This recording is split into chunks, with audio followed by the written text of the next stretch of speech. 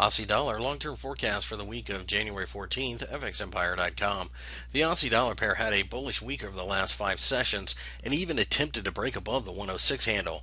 Uh, however, you can see that we didn't do that, and in fact, ended up getting quite a pushback on Friday from that level. You can see that this consolidation area has been our focus over the last several months, uh, really going back uh, about what eight months now or so. So it's obvious that 106 1.06 is massive resistance.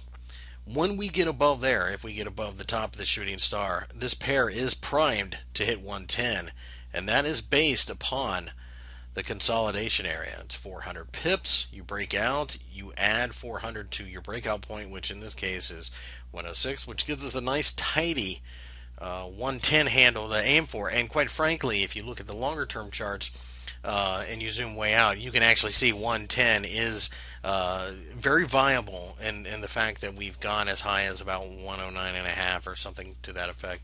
So having said that, it looks like uh, that is a, essentially what we're going to attempt to do. But unfortunately, the shooting star suggests to us that in the meantime we will probably fall and continue with consolidation, maybe to 104, or we could even go as low as 102 and not change any of this analysis.